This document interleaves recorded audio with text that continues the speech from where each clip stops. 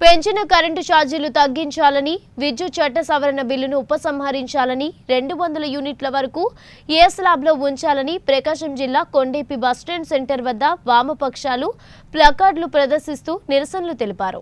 వామపక్ష నాయకులు మాట్లాడుతూ కేంద్రం కరోనాను కట్టడి చేయడానికి విధించిన లాక్డౌన్ను పేదల జీవితాలను దృష్టిలో పెట్టుకోకుండా ప్రకటించడంతో అష్టకష్టాలు పడుతున్నారు.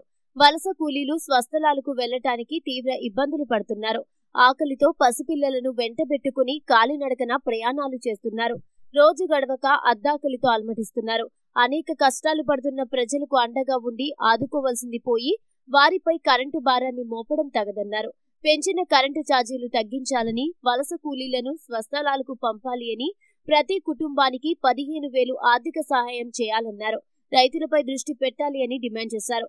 ఈ కార్యక్రమానికి సిపిఎం మండల కార్యదర్శి కేజీ మస్తాన్ సిపిఐ మండల కార్యదర్శి గురువయ్య తదితరులు పాల్గొన్నారు.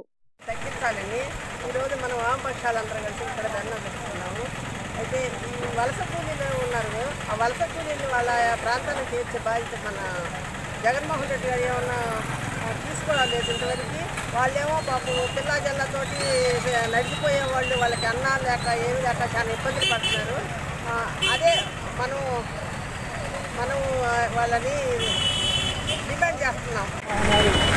నలభై ఐదు రోజుల నుంచి నిర్బంధించిన ప్రజలపై విద్యుత్ ఛార్జీలు ఒక పక్క నుంచి అనేక రకాల నిత్యావసరాలు వస్తుండటమై ఇంకా ఈ వలస కూలీలని దేశవ్యాప్తంగా ఉన్న ప్రజలందరూ కూడా దేశంలో ఎక్కడ రాకపోకల ఇబ్బందిలో ఉన్న బస్సులు సౌకర్యాలు లేనందున అందరూ కూడా వచ్చిపోయారు దారుల్లో వచ్చిపోయే రోడ్ల రోడ్ల మీద కూడా నడి రోడ్ల మీద ప్రజలందరూ కూడా నిర్బంధితులుగా రాలే నడవలేని పరిస్థితుల్లో రోడ్ల మీద నివసిస్తూ వాళ్ళకి భోజనాలు కనీసం మంచినీళ్ళు ఇవన్నీ కూడా వాళ్ళ సౌకర్యాలు లేక కేంద్ర ప్రభుత్వం చెప్పడానికేమో ఈ వలస కూలీలకి మేము ఆదుకుంటాం. ఎన్నో రకాలుగా వాళ్ళ సౌకర్యాలు కల్పిస్తామని తగ్గించాలని చెప్పి ఈ నిరసన కార్యక్రమంలో పాల్గొన్నటువంటి మీ అందరికీ ఎస్ఎఫ్ఐ ప్రకాశం జిల్లా కమిటీ తరఫున ధన్యవాదాలు తెలియజేస్తా ఉన్నాం. ఈరోజు మోడీ ప్రభుత్వం కరోనా కాలంలో దేశంలో ఉన్నటువంటి ప్రజానికం మొత్తం అష్ట కష్టాలు అనుభవిస్తున్నటువంటి తరుణంలో వా పేద ప్రజానికాన్ని ఆదుకోవాల్సింది పోయి వాళ్ళ మీద భారాలు వేయటం అనే దాన్ని ఈరోజు మేము ఖండిస్తూ ఉన్నాం. ఏదేమైనా ఈ నిర్ణయాన్ని వెనక్కి తీసుకోవాలి.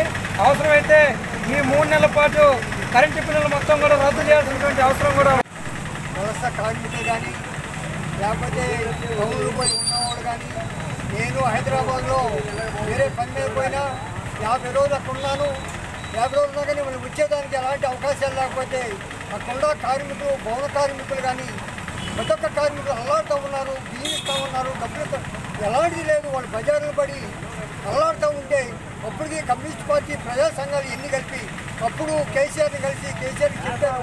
విధంగా దుర్మార్గంగా చేస్తున్నారని.